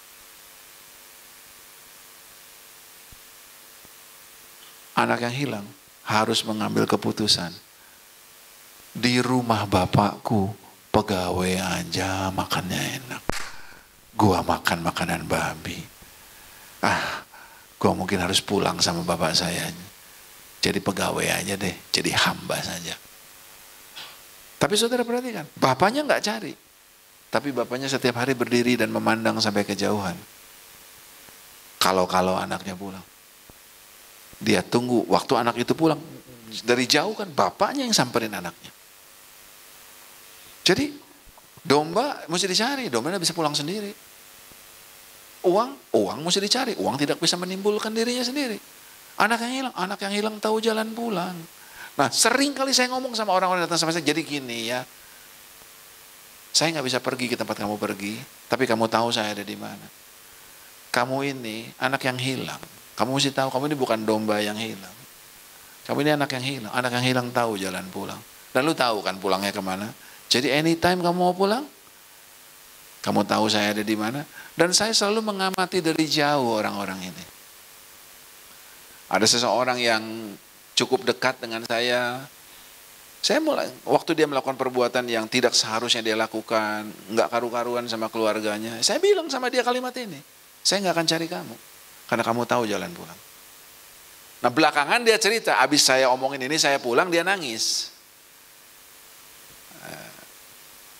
Itu bukan urusan saya kan, itu urusannya dia sama Tuhan kan.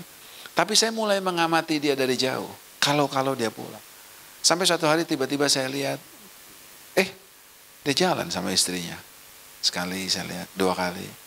Udah, dan I celebrate. Saya panggil dia, eh, ya, ya, saya, ya, ya, berarti kan gini, dia mengambil keputusan untuk membuang kebodohan. Saat seseorang mengambil keputusan untuk membuang kebodohan, dia jadi orang bijak yang belum berhikmat. Tapi orang bijak udah bisa dididik.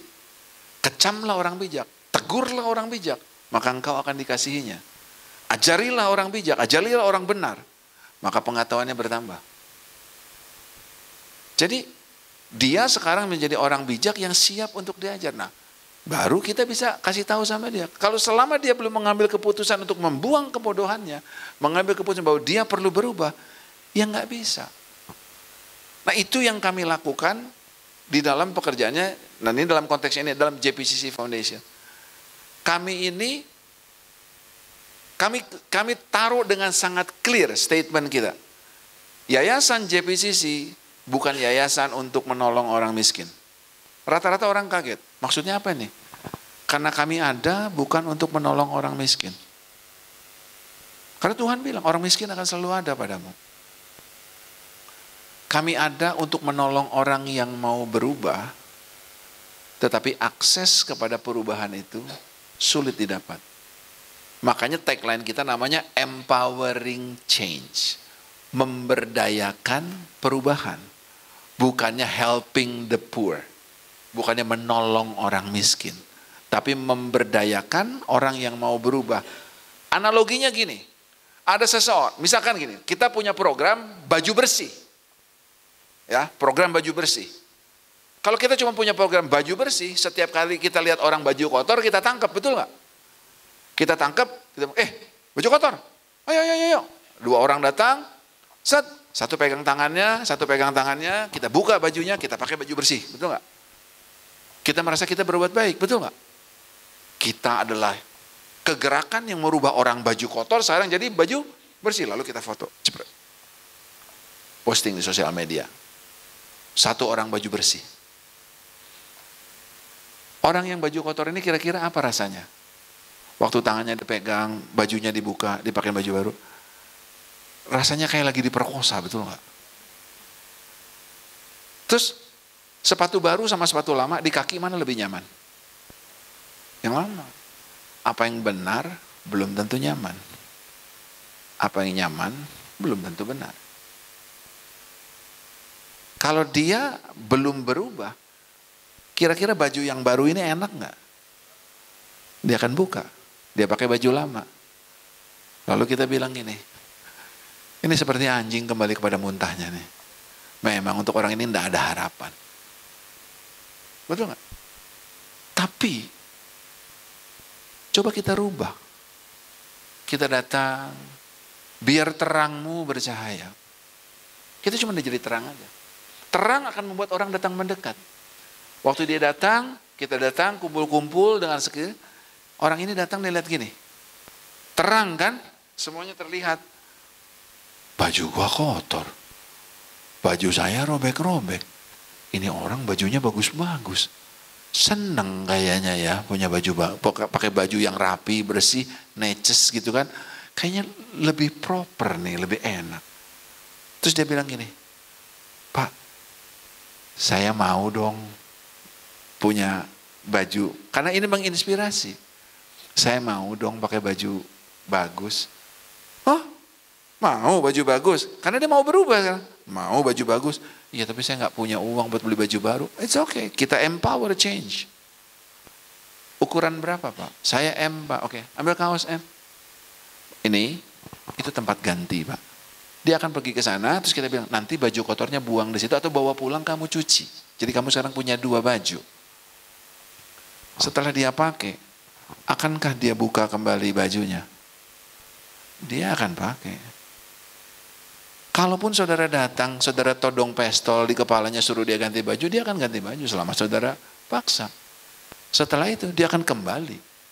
Karena dia belum mengambil keputusan untuk berubah. Perubahan baru terjadi sampai seseorang mengambil keputusan untuk berubah. Saya berharap ini bisa menjelaskan dalam konteks, dalam pelayanan kita sering ketemu orang ini.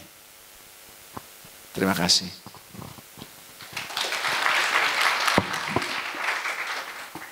Bang Jimmy, sudah? Oke, terjawab. Ada lagi yang mau bertanya? Oke, Pak. Uh, yang di tengah, Bapak yang baju hitam, silakan sebutkan nama Pak.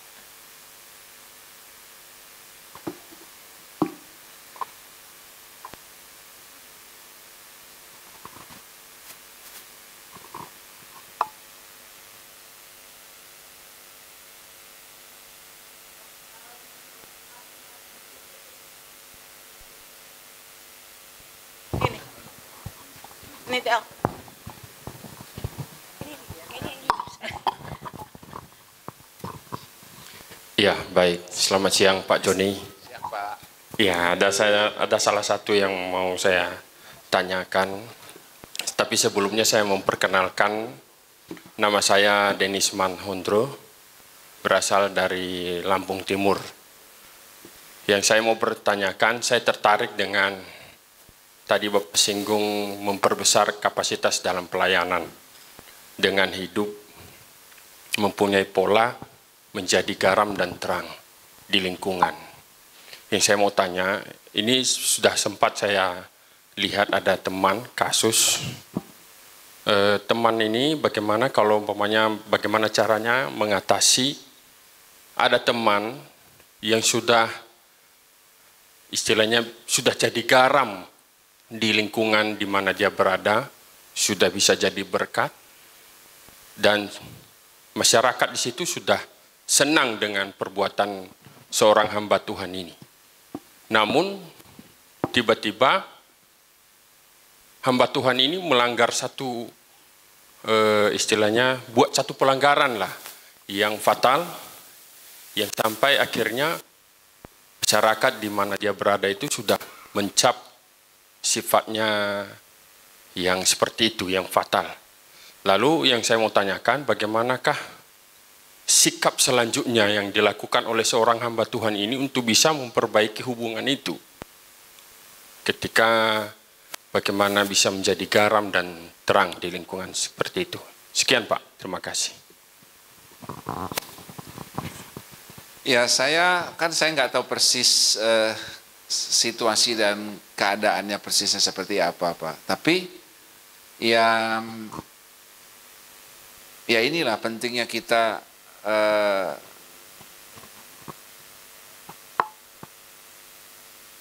eh, mengendalikan apa yang kita punya, pelayanan yang kita ada, mengelola, mulai dengan mengelola diri sendiri, Kan tadi Bapak bilang dia melakukan kesalahan, saya juga nggak tahu kesalahannya apa gitu. Tetapi uh, ya memang apalagi dalam posisi sudah menjadi dekat dengan masyarakat ya. Ini yang saya berkali-kali selalu uh, berhati-hati karena karena kan firman Tuhan bilang uh, hati saudara yang dilukai itu lebih sulit dihampiri daripada kota benteng yang teguh. Nah jadi justru kalau orang udah rasa dekat itu kan, ya itu. Orang yang bisa sikutnya nyampe di pipi kita kan adalah orang yang ada di sebelah kita. Orang yang berdirinya jauh kan, kalau dia gini kan nggak kena ke muka. Tapi kalau dia ada di sebelah kita kan sikutnya nyampe ke, ke kita. Jadi memang tidak mudah. Tetapi ya kalau ditanya apakah saya percaya bahwa Tuhan bisa memulihkan segala sesuatu, saya percaya.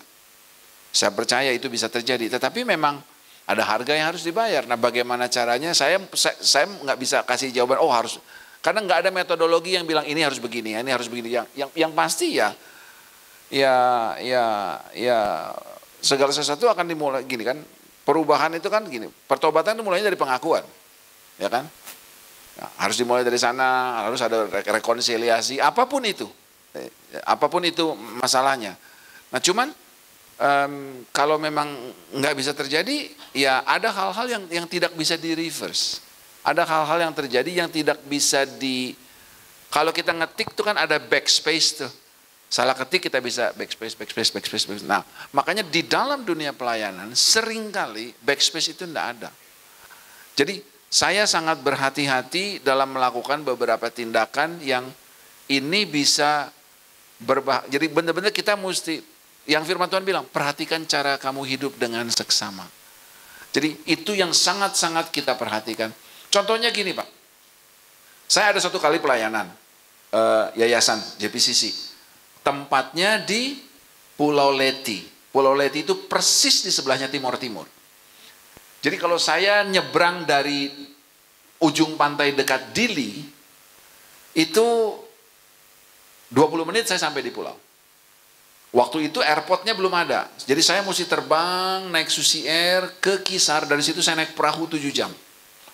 Padahal saya bisa dari Kupang, motong, masuk ke Dili, nyebrang 20 menit pakai perahu. Tapi saya nggak bisa lakukan. Kenapa? Karena kalau saya lakukan itu berarti saya dari Kupang masuk ke Timor Leste pakai paspor. Jalan sampai ujung di ujung pulau kan, nggak mungkin ada imigrasi kan di ujung pulau. Lalu saya nyebrang ke pulau sana. Jadi kan saya masuk lagi ke Indonesia. Dari sana saya harus kembali ke sini. Berarti kan waktu saya masuk ke sini saya jadi imigran gelap. Baru nanti saya keluar lagi dari Timor Leste pulang ke Kupang. Terus saya, nah, kelihatannya kan isu sederhana Pak.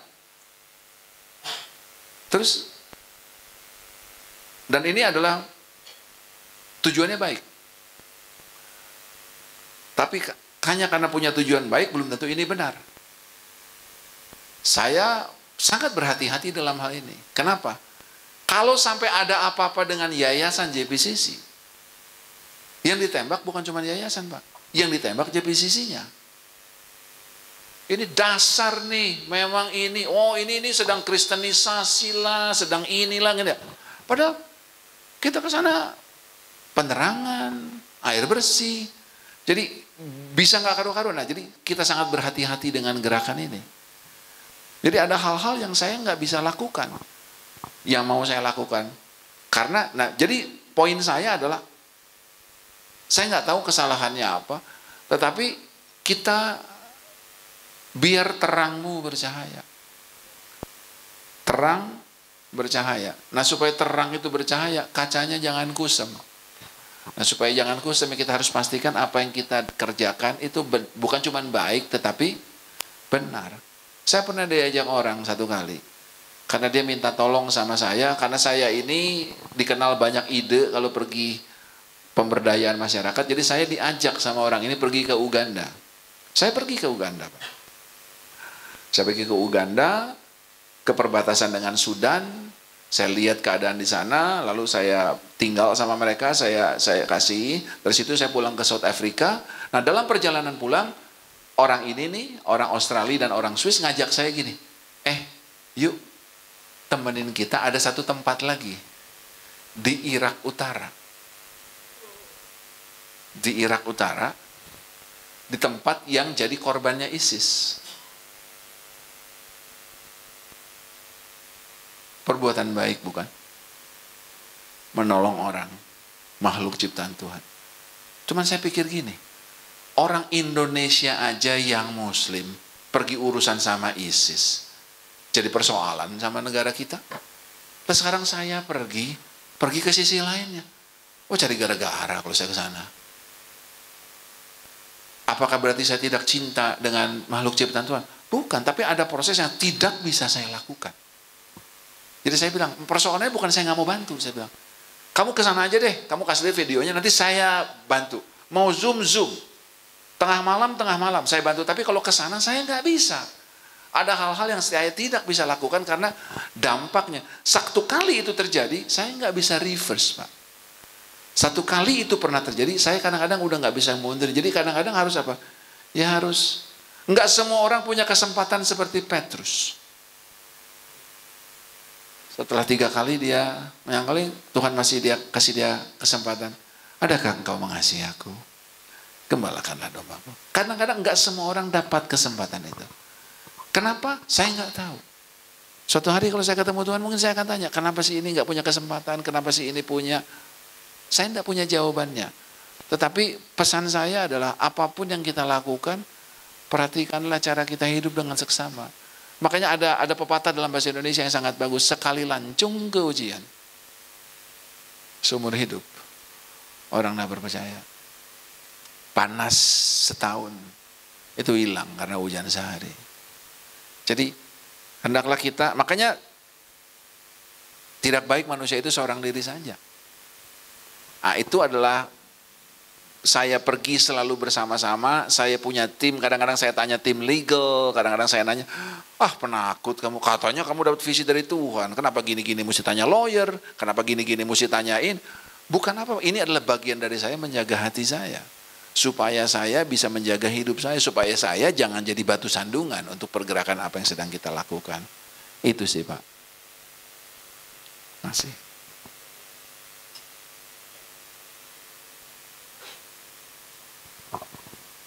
Jelas Pak? Ya, terima kasih. Oke, mohon maaf. Ops, maaf Pak. Oke, satu lagi deh. Satu lagi. Ya. Maaf Pak, nanti aja. Ditu kalau ada yang uh, itu ditulis, ditulis lalu serahkan ke salah satu panitia. Ya. Nanti ini. mungkin uh, tulis lalu mungkin tulis emailnya. Tulis email supaya mungkin kami bisa menjawab uh, pertanyaan tersebut melalui email. Silakan Ya. Pak. Terima kasih untuk untuk kesempatan yang diberikan. E, nama saya Cik Kwang dari Lampung. E, ada dua pertanyaan Pak. Satu mengenai pengelolaan dan yang kedua mengenai kepemimpinan leadership tadi. E, sangat menarik Pak. Tapi pertanyaan dalam pengelolaan ini bagaimana e, gereja dapat merencanakan dan melaksanakan kegiatan pelayanan yang efektif itu yang pertama dan eh, dengan yang kedua mengenai leadership itu eh, bagaimana ya kepemimpinan gereja itu dapat menginspirasi eh, dalam memotivasi jemaat untuk bisa terlibat ya, aktif dalam pelayanan gereja. Itu Pak, terima kasih.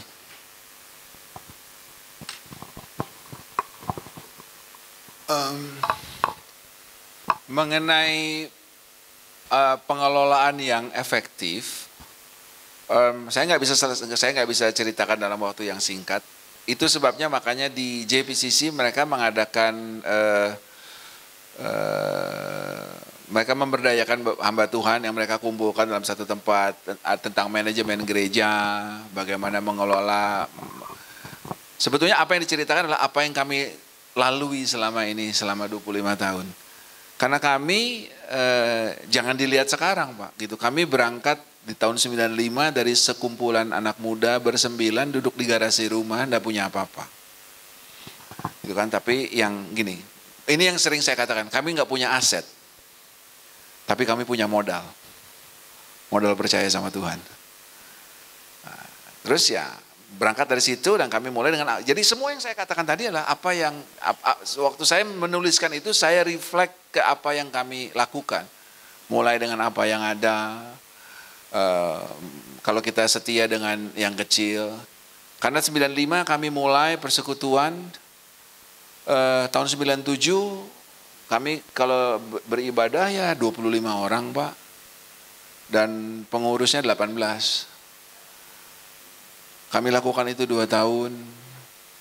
Terus kami ya ya seperti itu uh, dengan apa yang ada. Sampai tahun 99 baru kami jadi gereja. Nah waktu kami jadi gereja ya jemaatnya kurang lebih seratusan lah gitu loh. Um, ya jangan dilihat sekarang. Sebesar besarnya pohon kan benihnya kecil pak. Dan ukuran benih kan yang penting kita kelola ya kan seperti tanam dia tumbuh bertunas, dia tumbuh berbuah gitu kan ya. Ukuran benih tidak ada urusannya sama ukuran pohon, tapi prinsipnya harus terjadi. Sebab ada yang nanam, ada yang siram, tapi yang numbuhin Tuhan. Karena ini Pak, pohon sesawi yang benihnya sebesar wijen, waktu dia jadi pohon, burung bisa bersarang, pohonnya lebih besar daripada pohon mangga Pak. Tetapi biji sesawi jauh lebih kecil daripada biji mangga. Nah sering kali kita terpaku sama apa yang ada di tangan. Dan kita lupa bahwa Tuhan bisa menumbuhkan apa yang ada di tangan. Jadi sebuah pohon yang tidak relevan dengan ukuran benih. Kami mulai bersembilan, tidak ada satu orang pun di antara kami yang sekolah teologi. Bahkan gembala sidang saya, saya berani katakan ini karena ini pernah dia katakan di depan jemaat. Gembala sidang saya sekolah nggak lulus S1 Pak.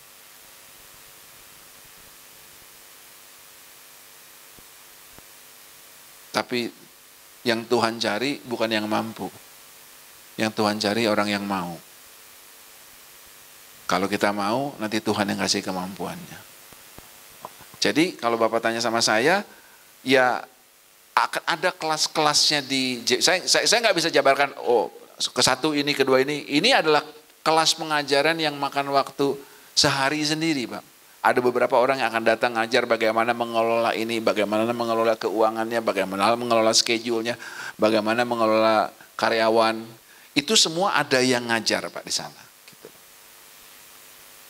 Nah yang, yang satu lagi mengenai leadership, bagaimana supaya orang tergerak, sebuah ungkapan yang sangat sederhana gini. Um,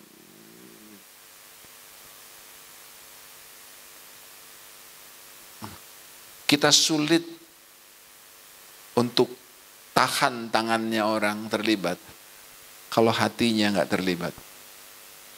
Karena pertama kali kalau kalau seseorang yang terlibat di dalam yang pertama kali hilang apa? Tangannya. Baru hatinya hilang. Yang pertama, jadi indikasi yang gampang lihat adalah apa? Yang pertama kali hilang adalah tangannya. Pertama orang kan kena hatinya, lalu dia taruh tangannya. Waktu dia hilang, dia hilang tangannya dulu. Baru hatinya hilang. Nah, tangan ini bisa bicara pergerakan, volunteer, sukarelawan, persembahan, persepuluhan, segala sesuatu yang ditanggung dengan tangan-tangan. Tangan hilang dulu, baru hatinya hilang. Nah, jadi bagaimana kita mengajak orang-orang ini ya ya ya Kuncinya cuma satu, Pak. We should lead people by inspirations. Kita perlu memimpin orang dengan inspirasi. Jangan dengan intimidasi. Oh kalau kamu tidak melayanin, masuk neraka kamu. Kalau kamu tidak memberi, rumahmu lubang-lubang nanti. Gentengmu tidak ada. Apalagi kita manipulasi kelihatannya nanti cepat datangnya tapi hilangnya juga cepat. Jadi kalau kita menginspirasi orang-orang yang ada di sekeliling kita, orang-orang mana yang akan datang dan berjalan mengikuti kita adalah orang-orang yang terinspirasi oleh hidupnya kita. Sekali lagi kalau Bapak mau ikut ini, ini di JPCC itu ada. Ada ada pelatihan hamba Tuhan. Kadang-kadang mereka bikin program, saya nggak tahu nextnya program di mana. Karena mereka baru aja pulang, mereka bikin pelatihan hamba Tuhan di Sumba. Uh, Pastor Ari pergi ke sana bersama dengan tim mengajar di sana. Terus uh, biasanya sekalian lalu kita lihat ada potensi. Jadi kita ngajarin bagaimana mengelola karena kan JPCC dikelola ada gereja, ada yayasan sebagai perpanjangan tangan dan ada badan usaha yang dimiliki oleh gereja. Bukan dimiliki oleh pendeta, dimiliki oleh gereja. Semuanya jadi milik gereja. Nah, bagaimana kami eh, cara kami mengelola ini lalu kami rangkumkan dalam sebuah materi yang terus jadikan topik pengajaran yang diajarkan dalam waktu satu hari atau dua hari saya lupa Pak. Tapi itu bukan di teritorinya saya, itu ada di teman-teman yang namanya dari kelas RLA, Relevant Leadership Academy. Gitu, Dulu kita biasa bikin seminar, bikin konferensi. Sekarang kami melakukannya dalam bentuk yang lebih kecil, lebih per kelompok per kelompok dan kami yang pergi ke beberapa daerah untuk melakukan itu. Terima kasih.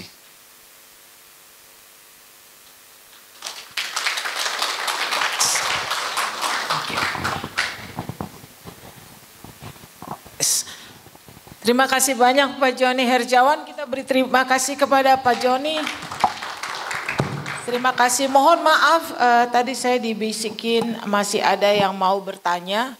Um, mohon maaf sekali karena waktu Eh, kita masih ada acara dan kita dikejar waktu dengan karena ada yang harus pulang jauh lagi jadi um, kita harus mempercepat waktu. Sekali lagi uh, atas nama panitia dan seluruh peserta yang ada di sini kami mengucapkan terima kasih banyak Pak Joni Herjawan. Tuhan Yesus memberkati. Saya selalu kagum dengan um, cara beliau mengajar dan uh, saya duduk di sana dan saya juga banyak belajar di sini. Terima kasih Pak Joni Harjawan, Tuhan Yesus memberkati. Bapak Ibu saya uh, mengajak Bapak dan Ibu sekalian untuk selalu berdoa bagi Pak Joni karena dia selalu kalau saya dengar ceritanya itu ke tempat-tempat yang serem banget lah gitu. Jalan naik kapal kecil tujuh jam, nanti jalan kapalnya gelap gitu. Aduh, udah deh. ya, uh, tolong doakan beliau dengan misinya. Beliau telah banyak berdampak uh, dari Sabang sampai Merauke saya rasa sudah ya. sudah dari Sabang sampai Merauke. Dari ujung ke ujung puji Tuhan saya cukup bangga bersegereja dengan beliau karena saya tahu di dalam gereja saya apa yang saya tanam di situ akan berbuah. Ya. Uh, Oke okay, baik, saya minta seluruh panitia untuk datang ke depan sebelum Pak Joni meninggalkan ruangan ini. Kita mau foto bersama. Cepat datang.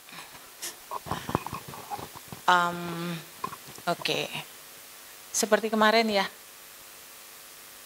Kita akan berfoto seperti kemarin. Uh, jadi dari sini, dari depan sini. Mungkin saya mau minta tolong Pak Bapak Yosep. Bapak Pendeta Yosef.